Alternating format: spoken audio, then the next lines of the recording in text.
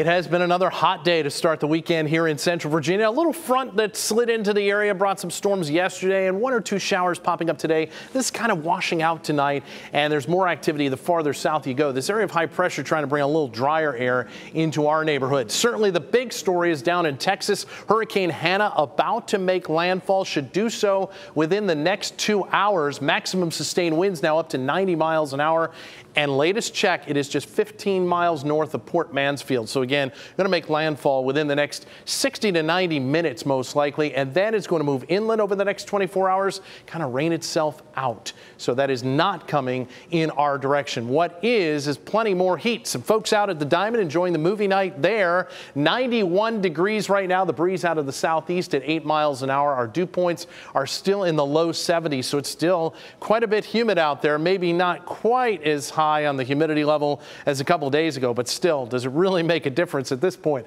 Low 70s here in town overnight, upper 60s in some rural areas. Tomorrow, the heat intensifies. You remember those numbers in the upper 80s and even some triple digits from about five to seven days ago? Those are coming back, maybe upper 90s across parts of the area tomorrow. The heat index could go as high as 105.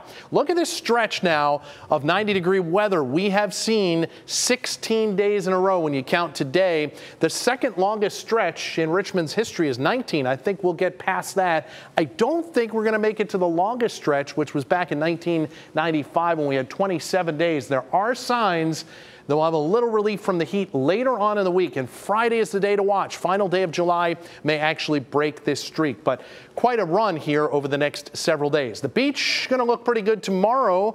The water temperatures coming up into the low and mid 80s, mainly sunny skies. Top temperatures will be near 90 at the ocean front. Throw on that sunscreen either at the beach or up in the mountains tomorrow. Upper 80s in the mountains, early fog. Otherwise, skies will be mainly sunny tomorrow. Tonight, we've had a few very, very isolated showers again. 90% of us probably not going to catch any rain tonight. Pretty quiet when you wake up in the morning. Skies will be partly cloudy. And then during the afternoon, there may be a few dots on the map. So again, an isolated storm a possibility. I think the chances are less than 20%. Things are pretty quiet going into Monday and Tuesday. Again, the big story will be the heat. But there's a lot going on in the tropics. Gonzalo, which made headlines this week, is just kind of falling apart over the Caribbean. And that is not going to be talked about any longer. You may have heard what's going on in the Pacific. There's a Hurricane Douglas headed towards Honolulu. There is a hurricane warning in effect on the island of Oahu.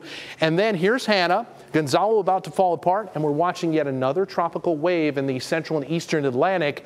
That one could develop into something this coming week, so we'll be watching that very closely. Pretty quiet when you consider all that's going on across the world. Isolated storm here in central Virginia, otherwise partly cloudy. Low 70s here in town, upper 60s in rural communities. Tomorrow, just a hot, rather humid day. Temperatures headed to the mid and upper 90s. That heat index could get between about 100 and 105 tomorrow and could exceed 105 Monday and Tuesday. We may need some heat advisories. Again, some storms later Tuesday and Wednesday, and that storm chance will hang around through much of the coming week.